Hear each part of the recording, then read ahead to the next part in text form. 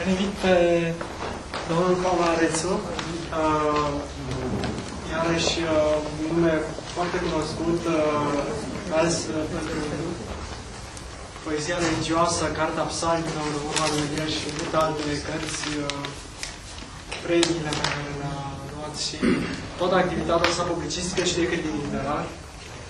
Uh, și să ne bucurăm să-l ascultăm. Vreau să spun că ideea acestor serii aparține poetului eh, Florin Caragiu. El a avut eh, ideea aceasta și prima întâlnire a- s-a petrecut la Brașov. Cea de-a doua am preluat această idee mai mulți prieteni și am continuat-o. Sperăm să uh, aibă uh, un viitor. Uh, este un foarte profund teolog și un traducător de cărți cu caracter religios. Este un om foarte modest și este un om îmbunătățit, uh, chiar în sensul real al cuvântului. Psalmul 28. Mă nevoiesc, Doamne, pentru gânduri, căci mintea este cuptorul păcatelor. Tăcerea în care se aud în toată lumea bătăile cuielor când Domnul și-a întins palmele peste cruce, lăsându-ne în bra- luându-ne în brațe, este ceea ce caut, iar nu cuvintele care nu se aud, iar nu gândurile care asurzesc.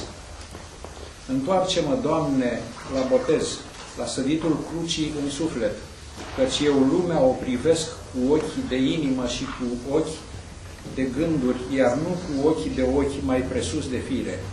Iarbă de zi este lumea. Citesc psalmul pentru rodirea copacilor și plec în munte cu chipul lui Dumnezeu pe buze și ziu, în ziua mutării capului. Ajută-mă, Doamne, pe mine, cel suferind cu sufletul, ca să nu mă pierzi din averea Ta. Am păcătuit, Doamne, fiindcă m-am îndrăgostit de citit, m-am făcut amant al Scripturilor și școlar al mângâierilor cuvântului. Doamne, Tu ești acolo unde eu nu mai pot vorbi, unde gândul meu este spulberat, unde carnea mea se face ziua, în mijlocul buzelor fără chip, în mijlocul mâinilor de moașă ale fecioarei, în pământul cu aripi și cu stâlpi în care sângele nevinovat se varsă, în care se întorc acele ceasornicului. Scriu, Doamne, încerc să ies din lume. Am aflat calea, dar eu încă nu sunt pe cale. Mă aflu între sângele Domnului Hristos și lacrimile Maicii sale. Mă poți în, în luminură, mă poți învia oricând, că chiar dacă n-am murit, mă poți găsi în cimitirul viilor, lucrând în luminura într-o carte de rugăciune. Și aveam 120 de ani când n-am murit din porunca Domnului, aflându-mă în partea de miază zi a cărții, trebăluind în cortul canonului, pe sub stâlpii din lemn de salcâm și de aur, având în vene sânge și cerneală, având ochi, urechi, mâini și picioare peste tot, alergând în toate părțile și stând pe loc, fiind în centru și de jur împrejur, gândind la maximum, vrabie singură. Psalmul 30 Doamne, am cheltuit fără socoteală timpul și sunt între gropi cu oase, între pietre cu scrisul răzuit. O, suflete, mai e vreme în hainele de in ale îngerului să te îmbraci, să-ți umpli ochii transparenți cu lacrimile vederii Domnului, să fii ca o lampă cu lumină gândită. Eu în suflet am luat plod pe Dumnezeu, rod al dragostei. Doamne, am început, am învățat cuvintele, limba mielului și fața mi s-a schimbat și a lungit de atâta luarea minte. Îți aduc un ochi născător într-o pielița pământului și un genunchi sfiit care cunoaște numele Tău și mai e pâinea inimii mele, Doamne, în care păsări continuu înălțate își fac cuib și coastele mele fătătoare cuvântând cu ispita și, din, și cu dinții mei jelii către cer, lepădându-mi chipul. Și a venit noaptea îngerul și mi-a vindecat puțin sufletul și eu miroseam a pământ și a plâns proaspăt. Și sufletul meu era un copac albastru ce se răsfira ca un fum și împlinea fructe sângerânde ca un măceș sălbatic.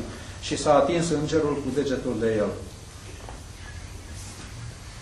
În luminură. Toți oamenii aceia, la început, tăcând între ei, iar apoi vorbind câte puțin, s-au transformat în nisipi, devenind postul deșertului.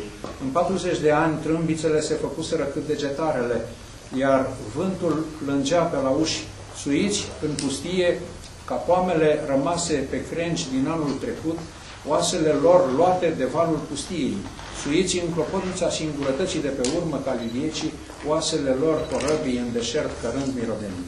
Psalmul 67 Te cântăm, Doamne, cu gâturile alungite, cu buzele suguiate, înfricoșați că vorbim. Vedem cum cuvintele stau în mintea lor și în interiorul lor așa cum stau sufletele odihnindu-se în rai. Un porumbel dădea cu ghearele foile și citea din carte.